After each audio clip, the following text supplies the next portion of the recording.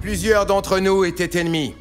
Mais les rivalités n'ont pas duré jusqu'à la fin des temps. On n'a plus que quelques mois avant le tournoi de Hall Valley et cette année, les enjeux sont plus élevés que jamais. On sait que les Cobra Kai vont se servir de tous les coups tordus qu'ils pourront trouver. On n'a donc qu'un seul moyen pour être en mesure de les battre. Leur botter le cul avec une telle violence qu'ils aient la rondelle qui clignote. Ils frappent les premiers, et ben on frappe avant eux. Ah, on mord d'entrée la ligne rouge. On va récupérer la vallée. On va la récupérer avec une méthode très organisée et mesurée. On mord les premiers.